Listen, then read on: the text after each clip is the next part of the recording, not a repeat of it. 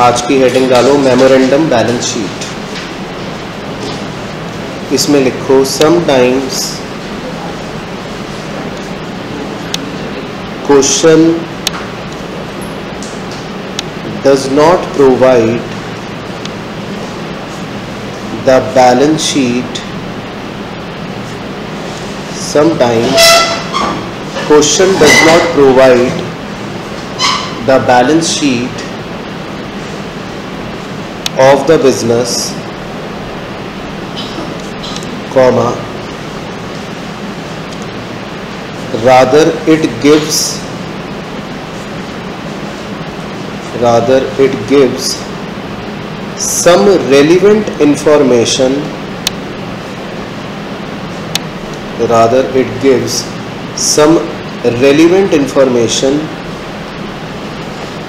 in paragraphic form.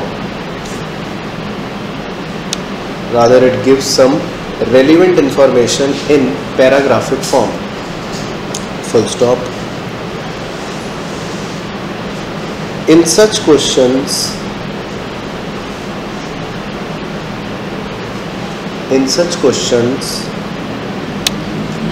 we have to prepare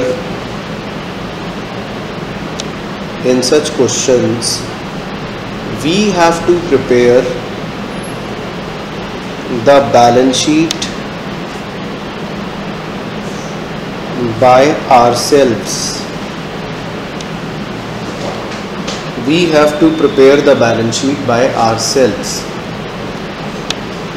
And rest all the steps and rest all the steps and concepts are 100% same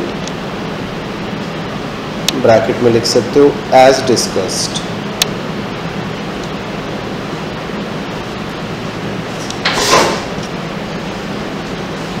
In such questions, we have to prepare the balance sheet by ourselves and rest all the steps and concepts are 100% same as discussed. तो देखो बच्चों, क्या होता है मेरी बात ध्यान से सुनना आप। अभी तक आपने जितने भी क्वेश्चंस करे हैं, हर क्वेश्चन के अंदर में क्वेश्चन आपको एक बैलेंस शीट देता था बिज़नेस की। इधर आपके बहुत सारे एसेट्स लिखे होते थे। इधर आपकी बहुत सारी लाइबिलिटीज लिखी होती थी। और मैं बोलता था कि बच्चों, पहला स्टेप ये है स्टेप वन ये है। बताओ क्या है स्टेप वन कि बैलेंस शीट को खाली करो। यहाँ से हमको एक एक आइटम को खाली करना होता था। अब जो क्वेश्चन होता है, वो थोड़ा सा मुश्किल करता है हमारे लिए। अब क्वेश्चन जो है, वो क्या करेगा? वो आपको टेबुलर फॉर्मेट में बैलेंस शीट बनी बनाई नहीं देगा। नहीं तो बैलेंस शीट बनी बनाई दे देगा तो फिर तो आपको पता ही है क्या करना है। अब क्वेश्चन क्या करता है आपको? पैराग्राफिक फॉर्म में इंफॉर्मेशन को लिख के दे देगा, ऐसे लिख देगा फॉर एग्ज़ाम्पल कि एक्स की कैपिटल है दस हज़ार कॉमा वाई की कैपिटल है बीस हज़ार कॉमा क्रेडिटर्स हैं पाँच हज़ार कॉमा बिल्डिंग है पच्चीस हज़ार कॉमा फर्नीचर है छः हज़ार एटसेट्रा एटसेट्रा एटसेट्रा ऐसे दे देगा। तो इससे कोई कॉन्सेप्ट तो चेंज होगा नहीं चैप्टर का कोई बातें तो चेंज होंगी नहीं चैप्टर की। बस हमको क्या करना रहेगा, इन बातों को ऐसे पैराग्राफिक फॉर्म में जो दे रखी है, इनको हमको पढ़ना पड़ेगा। और पढ़कर अपनी बैलेंस शीट एक खुद से बनानी पड़ेगी।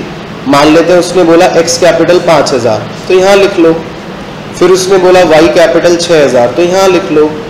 उसने बोला बिल्डिंग पच्चीस हज़ार तो यहाँ लिख लो। उसने बोला बिल्डिंग फर्नीचर छः हज़ार तो यहाँ लिख लो। उसने बोला क्रेडिटर्स दस हज़ार तो यहाँ लिख लो। मतलब क्वेश्चन आपको बैलेंस शीट बनी बनाई नहीं देगा, आपको क्वेश्चन क्या देगा? बैलेंस शीट की ही इंफॉर्मेशन को पैराग्राफिक फॉर्म में ऐसे लिख के देगा। समझ आ रहा है मैं क्या बोल रहा हूँ? तो हमको वो पैराग्राफ को क्या करना है? कुछ भी इसमें दिक्कत क्या है? पैराग्राफ पढ़ना है। जो जो इंफॉर्मेशन दे रखी है, उसको देखने के बाद अपनी बैलेंस शीट खुद से बना देनी है।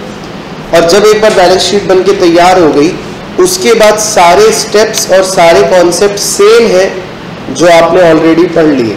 मतलब आपको वैसे ही रियलाइजेशन अकाउंट बनाना पड़ेगा वैसे ही कैपिटल अकाउंट बनाना पड़ेगा वैसे ही कैश अकाउंट बनाना पड़ेगा और क्वेश्चन खत्म हो जाएगा। ठीक है पहले समझ आ गया?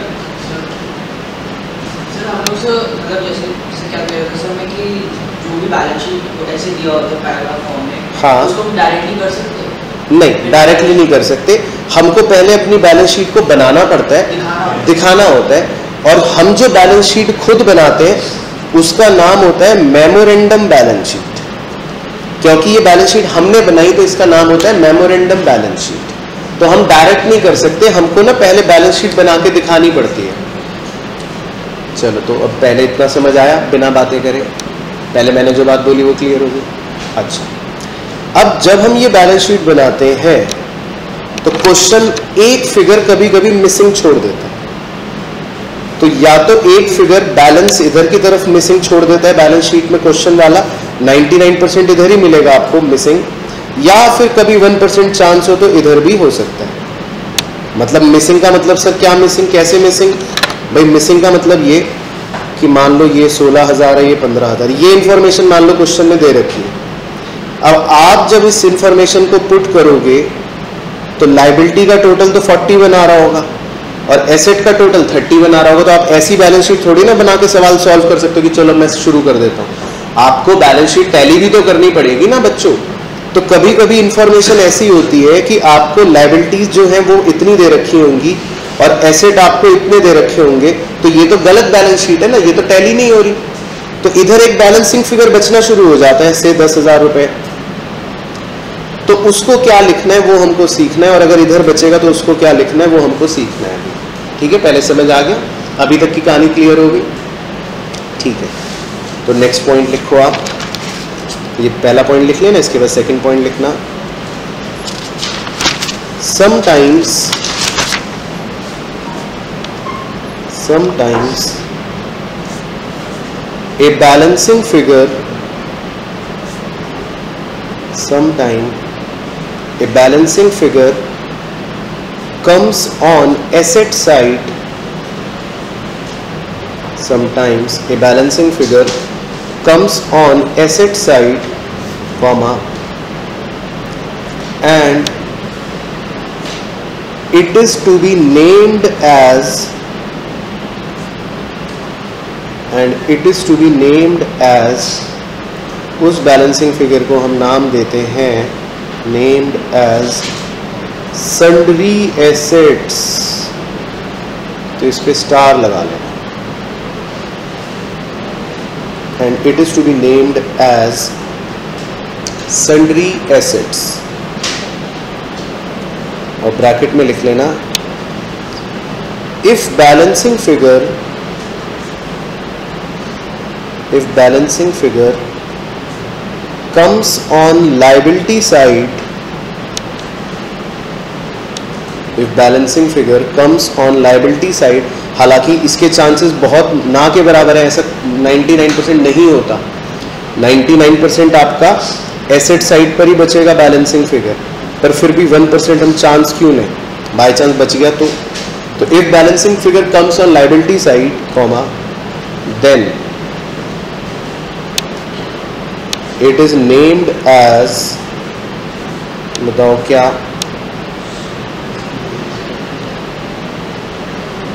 पी एन एल अकाउंट, यानी हमारी भाषा में चॉकलेट। ठीक है? तो अब आप फटाफट बुक में आओ पेज 7.67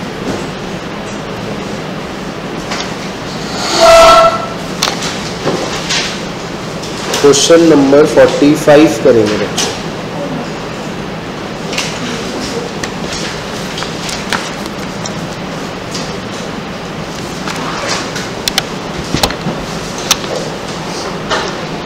ठीक है तो देखो पहले मेरे साथ साथ धीरे धीरे पढ़ना, फिर बाद में आपसे डिस्कस करेंगे सब A and B dissolve their partnership their position as on thirty first March 2019 was अब देखो, इसमें आपको बैलेंस शीट कहीं दिख रही है क्वेश्चन में नहीं दिख रही। लेकिन क्वेश्चन आपको इंफॉर्मेशन दे रहे हैं। ए कैपिटल पच्चीस हज़ार बी कैपिटल पंद्रह हज़ार सन्ड्री क्रेडिटर बीस हज़ार cash in hand and bank seven fifty balance of A's loan account to the firm stood at ten thousand A ने कोई लोन भी दे रखा है फर्म को टेन थाउज़ेंड का। The realisation expenses amounted to three fifty stock realised बीस हज़ार डेटर पच्चीस हज़ार कह रहा है रियलाइजेशन के खर्चे हो गए थ्री फिफ्टी स्टॉक बेचा बीस हज़ार का डेटर बेचे पच्चीस हज़ार के। B took a machine at agreed valuation of seventy five hundred B ने मशीन टेक ओवर कर ली सेवेंटी फाइव हंड्रेड की. अदर फिक्स्ड एसेट रियलाइज़ बीस हज़ार. दूसरे फिक्स्ड एसेट्स बीस हज़ार के बेचे. You are required to close the books तो मतलब क्वेश्चन जरा सा ही होता है, छोटा सा ही होता है, लेकिन बैलेंस शीट नहीं दी बस क्वेश्चन में ठीक है, पहले क्वेश्चन समझ आ गया छोटा सा? चलो तो हमको पहले क्वेश्चन के अंदर अपनी बैलेंस शीट बनानी पड़ेगी बच्चों। तो इसका नाम है मेमोरेंडम बैलेंस शीट तो आप भी मेरे साथ पहला ढांचा बनाएँ। और इस बैलेंस शीट का नाम है मेमोरेंडम बैलेंस शीट।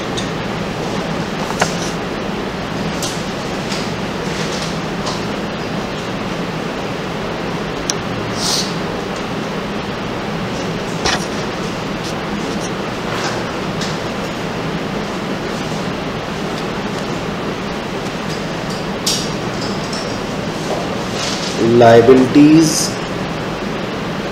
और एसेट्स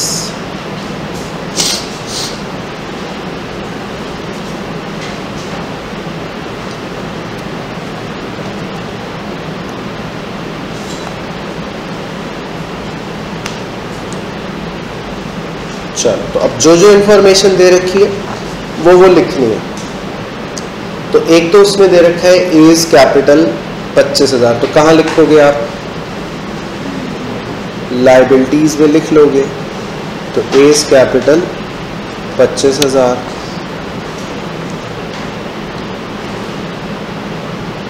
दूसरा उसने दे रखा है बीस कैपिटल तो बीस कैपिटल पंद्रह हज़ार।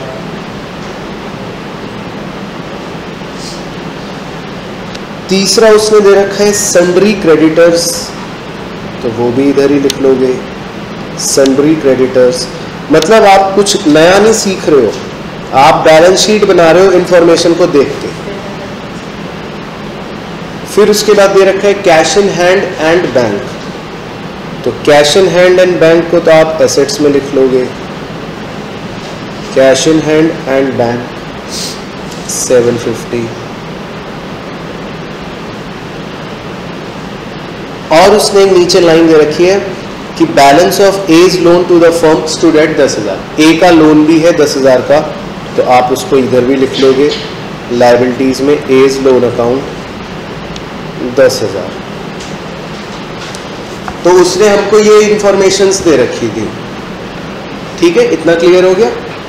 पहले यहाँ तक किसी को डाउट अब उसकी इंफॉर्मेशन के मुताबिक अगर चलूँ तो बैलेंस शीट फ़िलहाल टैली नहीं होगी। तो इधर का टोटल आएगा सत्तर हज़ार रुपये लाइबिलिटियों का टोटल आएगा सेवेंटी थाउज़ेंड रुपी तो उसकी इंफॉर्मेशन के मुताबिक बैलेंस शीट टैली नहीं होगी। तो जैसा कि मैंने आपको कहा था कि निन्यानवे प्रतिशत चांस होते हैं कि बैलेंस इधर ही बचेगा आपका। तो कितना बैलेंस बच गया? Sixty nine thousand two fifty सबको समझ आ रहा है बच्चों, कोई दिक्कत, परेशानी तो नहीं लग रही। तो इसको क्या नाम देंगे हम? सन्ड्री एसेट्स तो इसको नाम देंगे हम सन्ड्री एसेट्स इसका मीनिंग भी समझ लो रखने से पहले। तो इसका मीनिंग ये है कि भाई, मुझे नहीं पता कि इनके अंदर क्या क्या है। हो सकता है इसके अंदर कोई मशीन हो दस हज़ार की। हो सकता है इसके अंदर कोई फर्नीचर हो बीस हज़ार का। क्या पता इसके अंदर कोई स्टॉक हो दो हज़ार का। क्या पता इसके अंदर कोई डेटर हो छः हज़ार का। क्या पता इसके अंदर कुछ और एटसेट्रा कुछ भी हो। तो मुझे नहीं पता इसके अंदर क्या है। तो मैंने सबको मिला जुला के एक नाम दे दिया सन्ड्री एसेट्स ठीक है जी? पहले यहाँ तक क्लियर हो गया? एसेट में नहीं नहीं ऐसे थोड़ी नहीं है ना वो पढ़ो। The balance of A's loan account to the firm मतलब ए ने लोन दिया है फर्म को। तो ए ने अगर लोन दिया है तो इसका मतलब फर्म ने लोन लिया है। तो फर्म ने अगर किसी से पैसा लिया तो फर्म के लिए वो क्या है? लाइबिलिटी है ना। तो ए ने फर्म को पैसा दिया तो इसका मतलब फर्म ने लोन लिया। तो आपको फर्म की बैलेंस शीट बनानी है इसीलिए फॉर्म की बैलेंस शीट में ये लाइबिलिटी में लिखा।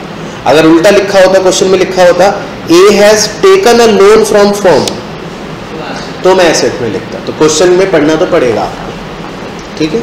यहाँ तक कहानी क्लियर होगी ठीक है। अब बच्चों, आपको ऐसा समझना है कि दिस इज़ योर क्वेश्चन आपको ऐसा समझना है, ये बैलेंस शीट क्वेश्चन वाले ने दे रखी है। और अब आपका क्वेश्चन अगले पेज से शुरू हो रहा है। पहले समझ आ गए यहाँ तक? चलो तो तीन ढांचे कौन कौन से बनाएँगे हम?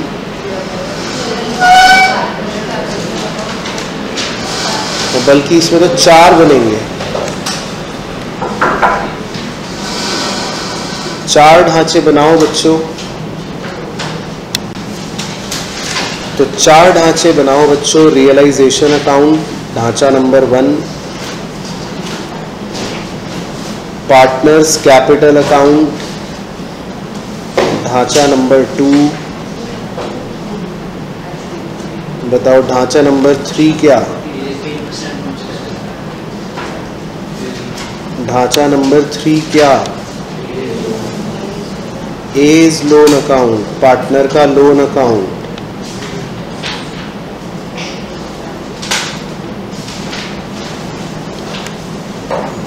और ढांचा नंबर चार क्या? कैश अकाउंट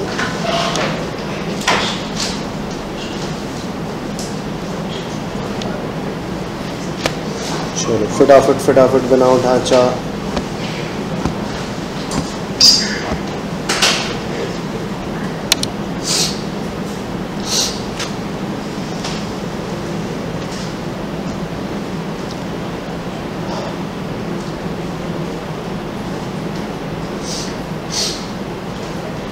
चार ढांचे बनाएँगे। Realisation account partners capital account A's loan account और कैश अकाउंट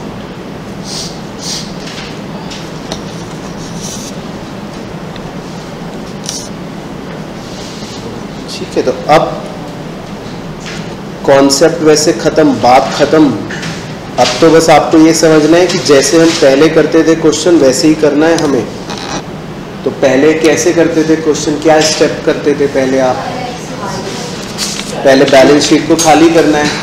तो ये जो बैलेंस शीट नज़र आ रही है यहाँ पर, इन आइटमों से भरी हुई, इसको वन बाय वन खाली करना है हमको। ठीक है? तो कैश इन हैंड को कहाँ लिखेंगे खाली करके? To balance B D seven fifty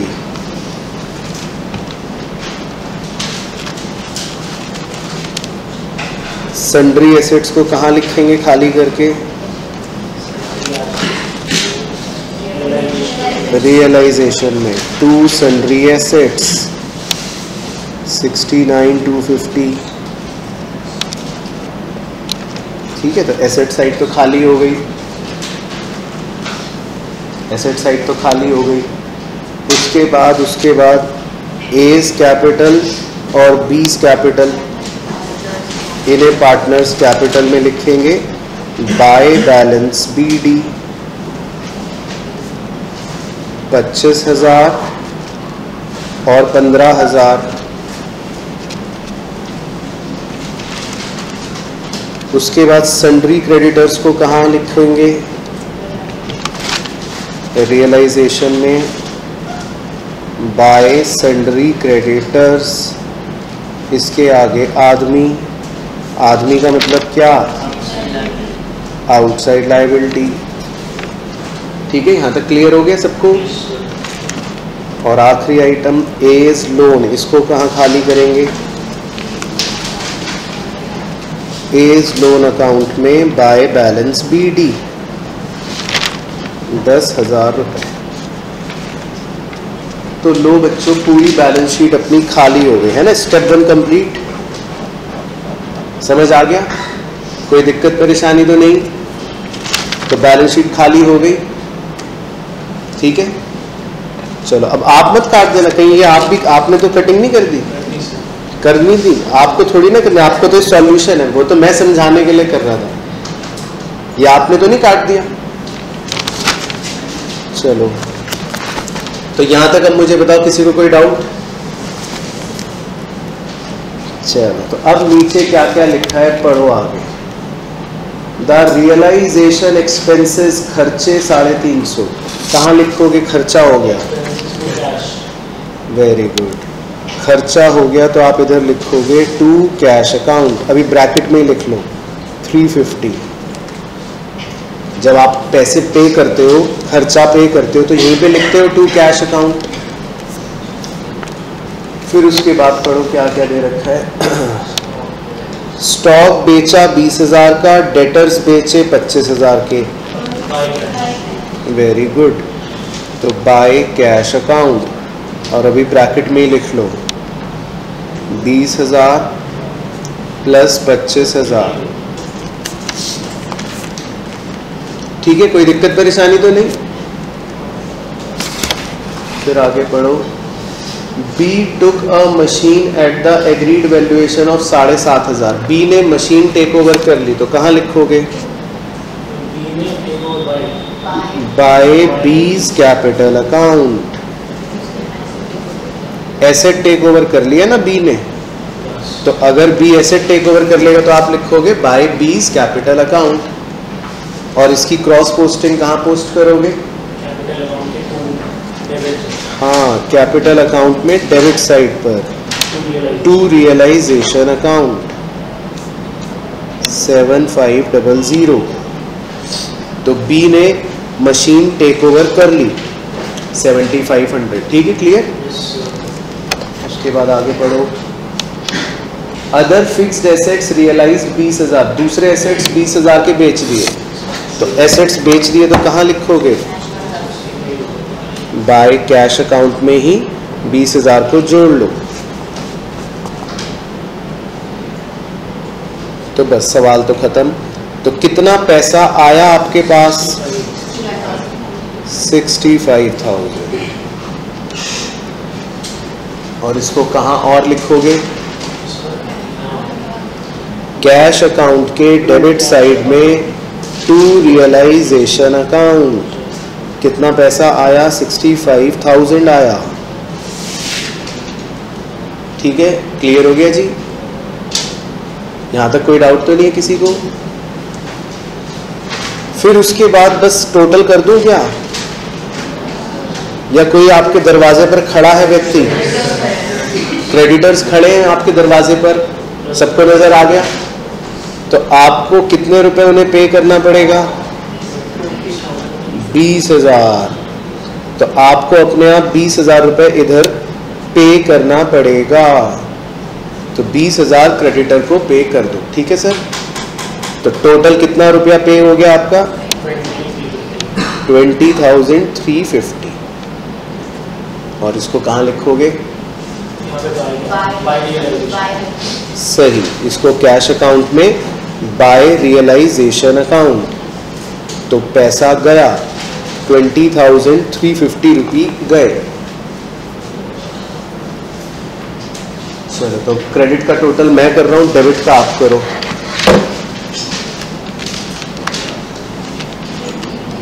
credit का मेरा तो आ रहा है नाइन्टी टू फाइव हंड्रेड। हाँ और आपका डेबिट का कितना आ रहा है? एट्टी नाइन सिक्स हंड्रेड तो माइनस करो तो क्या बच रहा है balance two thousand nine hundred इधर बच रहा है। तो टू थाउज़ेंड नाइन हंड्रेड को क्या बोलेंगे हम? प्रॉफिट। तो इसे ए और बी के रेशो में बांट दो। इक्वल है?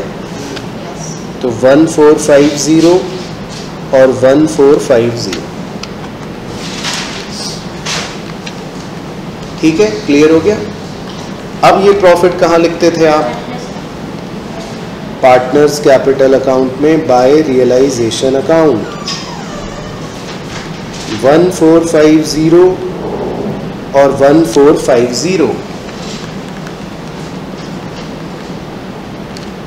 ए का टोटल बताओ। टू सिक्स फोर फिफ्टी और बी का total one six four fifty तो ए का total two six four fifty और बी का total one six four fifty तो बताओ ए का क्या बैलेंस बचा? ए का बैलेंस बचा टू सिक्स फोर फिफ्टी और बी का बताओ? एट नाइन फाइव ज़ीरो तो ए का बैलेंस भी इधर बचा बी का बैलेंस भी इधर बचा तो क्या बोलेंगे इसको? टू टू कैश अकाउंट मतलब दोनों व्यक्ति अपने अपने घर ये पैसा लेकर चले गए। तो इन दोनों को कहाँ लिखोगे? कैश अकाउंट में. By A's capital account twenty six four fifty account eight nine five zero ठीक है, यहाँ तक क्लियर हो गया? फिर लोन अकाउंट भी टोटल कर लो, दस हज़ार दस हज़ार तो क्या लिखेंगे इधर? टू कैश अकाउंट तो दस हज़ार रुपये आपने ए के लोन के भी पे कर दिए। तो टू कैश अकाउंट दस हज़ार। तो इसको कहाँ लिखोगे? बाय एज लोन अकाउंट दस हज़ार। अब कैश अकाउंट का टोटल कर लो। डेबिट का मैं कर रहा हूँ। और क्रेडिट का आपको करना है। क्रेडिट का बताओ। Sixty five seven fifty. तो बस। तो अब बताओ बच्चों की कोई दिक्कत परेशानी वाली बात तो नहीं है। मतलब इस पेज पर जो हमने करा, ये पूरा पेज तो आपने कई कई सवालों में कर रखा है ना ऑलरेडी इसमें तो कोई दिक्कत परेशानी नहीं है। क्लियर हो गया वाला क्वेश्चन चलो तो एक क्वेश्चन और करेंगे आप और मैं साथ साथ तो करके देखते हैं हम एक और। 46 इसके नीचे वाले करते हैं।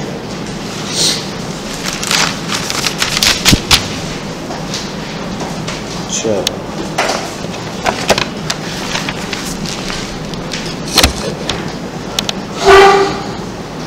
Ashok and Kishore work in partnership sharing profits in the ratio of three is to one They agree to dissolve the firm. The assets, other than cash of 2000 of the firm realized एक लाख दस हज़ार इसका बच्चों, इस line का हिंदी में मतलब समझा देता हूँ इसका मतलब है कि जो हमारे एसेट्स हैं अदर देन कैश ऑफ़ 2000 मतलब 2000 के कैश को छोड़कर, उसको छोड़कर जो हमारे बचे हुए एसेट्स हैं वो रियलाइज़ हुए मतलब वो हमने बेच दिए, कितने रुपए में बेच दिए? एक लाख दस हज़ार रुपए में बेच दिए। The liabilities and other particulars on that date were उसने कुछ इंफॉर्मेशन दे रखी है। क्रेडिटर्स चालीस हज़ार, अशोक कैपिटल एक लाख, किशोर कैपिटल दस हज़ार और ब्रैकेट में दिया है डेबिट बैलेंस ओ गॉड ये क्या चक्कर है? उसके बाद पीएनएल अकाउंट आठ हज़ार और उसके भी ब्रैकेट में दिए डेबिट बैलेंस ये क्या चक्कर है? मतलब इसको क्या बोलते हैं हमारी भाषा में? डेबिट बैलेंस को हमारी भाषा में क्या बोलते हैं? वो क्या? चॉकलेट नहीं। कूड़ा। ये फिक्टिशियस एसेट है। कूड़ा एसेट पीएनएल डेबिट फिर उसने दे रखा है रियलाइजेशन एक्सपेंसेस एक हज़ार, खर्चे हैं एक हज़ार। You are required to close the books of the form चलो तो पहले पहले क्या बनाना पड़ेगा? बोलो, क्या बनाना पड़ेगा? मेमोरेंडम बैलेंस शीट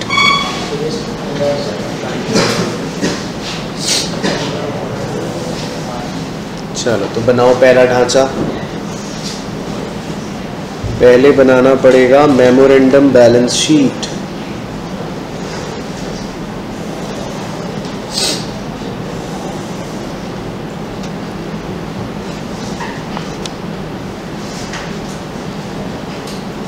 उसके बाद दूसरा ढांचा क्या बनाओगे? दूसरा ढांचा आपको बनाना पड़ेगा realisation account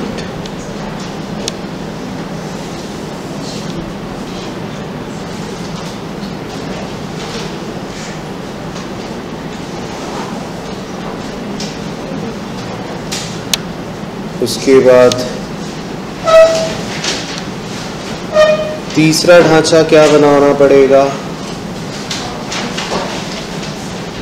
partners capital account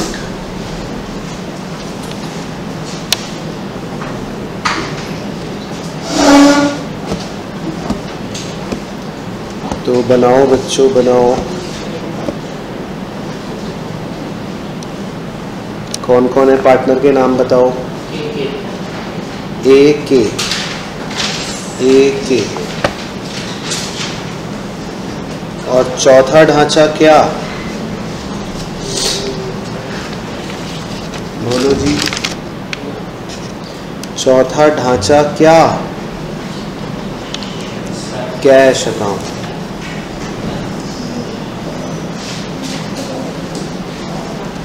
चलो ठीक है तो पहले ये बना लो जी।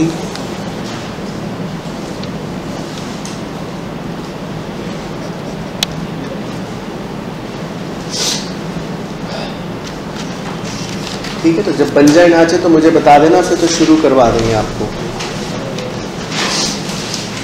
जब ढांचे बन जाएँ तो मुझे बता देना, फिर आपको शुरू करवा देंगे।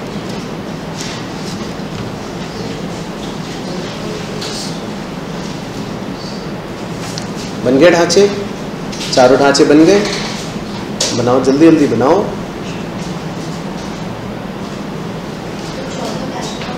हाँ चौथा है कैश अकाउंट बुक्स क्लोज करनी है ना फर्म की तो फर्म की बुक्स क्लोज करने के लिए वही बनाना पड़ेगा। रियलाइजेशन अकाउंट कैपिटल अकाउंट और कैश अकाउंट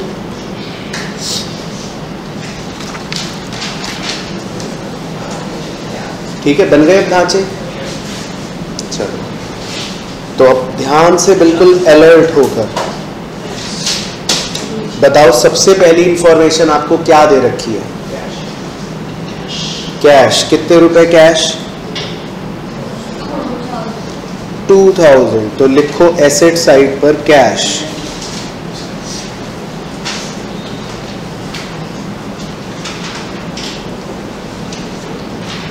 उसके बाद क्या हेडिंग दे रखी है? The liabilities and other particulars on that date तो क्या क्या इन्फो दे रखी है आपको? क्रेडिटर्स तो लिखो लाइबिलिटीज में. क्रेडिटर्स 40 फिर उसके बाद आपको दे रखा है अशोक कैपिटल एक लाख. तो कहाँ लिखोगे? लाइबिलिटी अशोक कैपिटल एक लाख।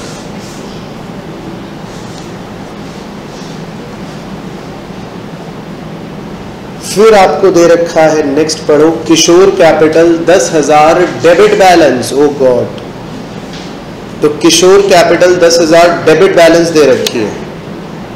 यहाँ लिख दूँ क्या? क्यों? कैपिटल तो यही लिखते हैं हमेशा। नो सर क्यों? क्योंकि किशोर कैपिटल आपको कौन सा दे रखा है बैलेंस डेबिट बैलेंस तो आपको एसेट में लिखना पड़ेगा। तो इस पे मैं स्टार लगा देता हूँ। तो ध्यान रखना है बच्चों, किशोर कैपिटल के ब्रैकेट में लिखा है डेबिट तो इसका मतलब होता है एसेट में लिखना है आपको, ठीक है? उसके बाद नेक्स्ट आइटम दे रखा है प्रॉफिट एंड लॉस 8000 और उसके ब्रैकेट में भी डेबिट दे रखा है। सेम तो ये आपको एसेट में ही लिखना पड़ेगा 8000 क्योंकि डेबिट दे रखा है। तो ये कूड़ा होता है, ध्यान रखना। दिस इज़ कूड़ा, हमारी भाषा में। बस, खत्म हो गई इंफॉर्मेशन तो लाइबिलिटियों का टोटल तो है एक लाख चालीस। और फिर से जैसा कि मैंने कहा था, इधर ही बचेगा बैलेंस तो इधर कितना बैलेंस बच रहा है? हाँ 99 परसेंट चांस होता है इधर बचने तो कितना बचेगा? वन लाख ट्वेंटी थाउज़ेंड ठीक है, सबको क्लियर हो गया? कोई दिक्कत, परेशानी? बोलो ना हाँ या ना? क्या हाँ परेशानी है? तो इसका नाम क्या होता है? सेंड्री एसेट्स चलो तो समझ आ गया मेमोरेंडम बैलेंस शीट बनाना सब बच्चों को? ठीक है। तो अब आपको ये समझना है, आपको अपने मन में ये सोचना है कि ये सवाल की बैलेंस शीट ये दे रखी है और अब हम अपना सॉल्यूशन अब शुरू कर रहे हैं। आपको ऐसे सोचना है कि ये बैलेंस शीट गिवन है और now we are starting our question. ठीक है जी? चलो तो अब इस बैलेंस शीट को क्या करना पड़ेगा आपको? बोलो ना क्या करना है? खाली करना पड़ेगा। चलो तो पहले एसेट साइड से खाली करते हैं। कैश को खाली कर दिया। कहाँ लिखोगे? टू बैलेंस बी डी दो हज़ार। उसके बाद किशोर कैपिटल, दस हज़ार इसको खाली करना है। कहाँ लिखोगे? Very good very good to balance B D Kishore के डेबिट साइड में लिखोगे दस हज़ार। ये समझ आ गया सबको? कोई दिक्कत, परेशानी?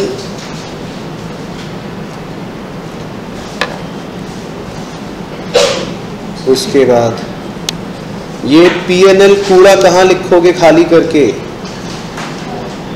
ये कहाँ जाता है कूड़ा? हाँ पार्टनर्स कैपिटल में डेबिट साइड में। तो to P N L account छ हज़ार और दो हज़ार। थ्री टू वन था ना, दोनों का रेशियो दे रखा है।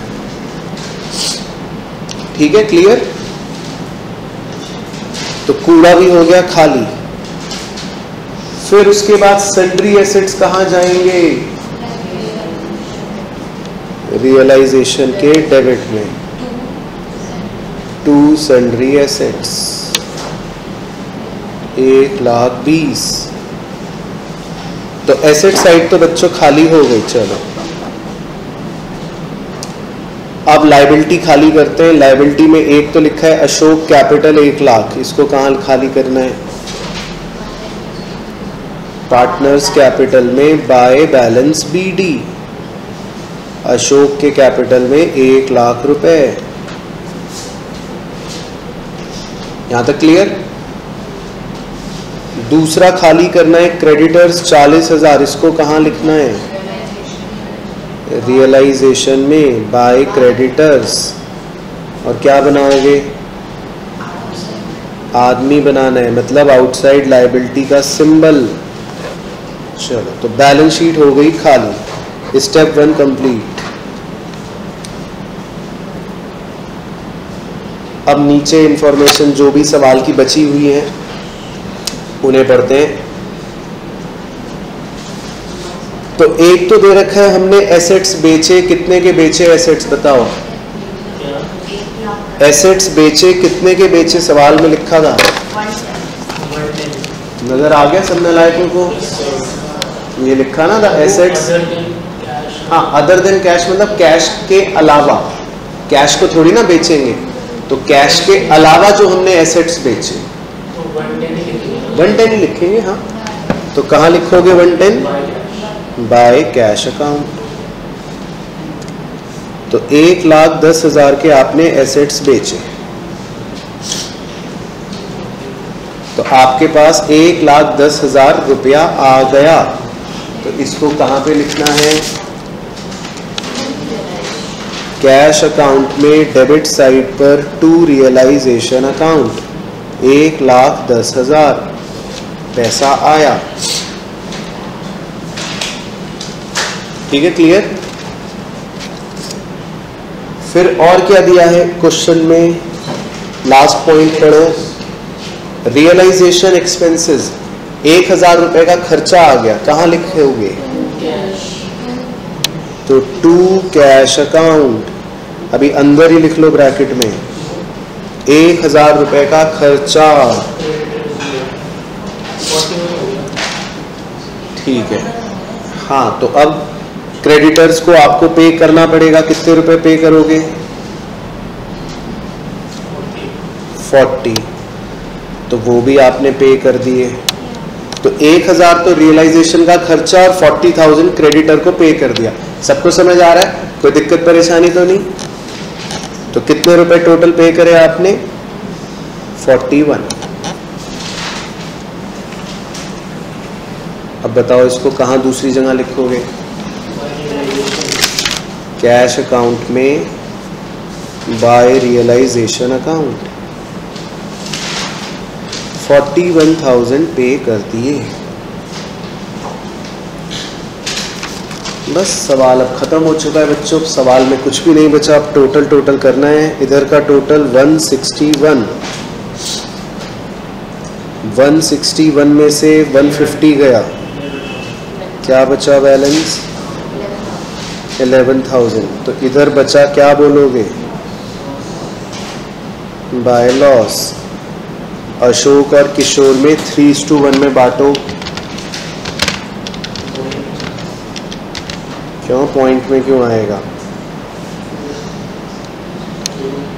पॉइंट में नहीं आएगा। एट टू फाइव ज़ीरो और टू सेवन फाइव ज़ीरो ये आएगा। तो अशोक का आएगा एट टू फाइव ज़ीरो और किशोर का आएगा टू सेवन फाइव ज़ीरो ठीक है क्लियर होगी कहानी? कोई दिक्कत, परेशानी तो नहीं है? अब इस लॉस को कहाँ लिखोगे जी? टू रियलाइजेशन अकाउंट ये आ गया लॉस इधर। एट टू फाइव ज़ीरो और टू सेवन फाइव ज़ीरो चलो तो अशोक का टोटल है एक लाख। अशोक का टोटल है वन लाख तो वन लाख में से ये माइनस करो, दोनों क्या बचा balance eighty five seven fifty तो टू कैश अकाउंट तो ए तो इतने रुपए घर लेकर चला जाएगा. एट्टी फाइव सेवन फिफ्टी ठीक है? और के का टोटल इधर का कितना आ रहा है?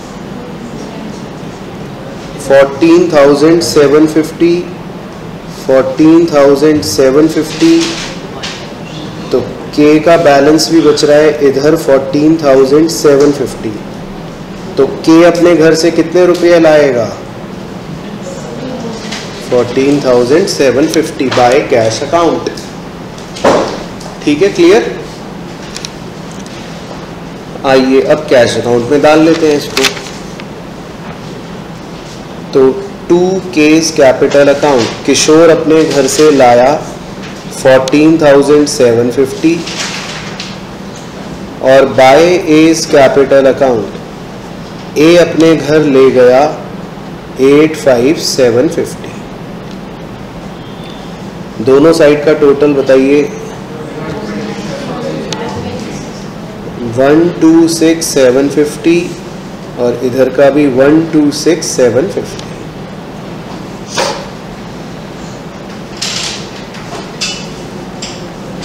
ठीक है, समझ आया? कुछ कुछ कहानी के क्या हो रहा है? चलो, सर, एक और करवाओ कोई।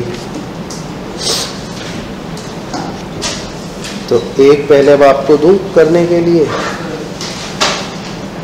चलो एक आपको दे सकता हूँ। तो अब आप करके देखो बच्चों अपने आप 52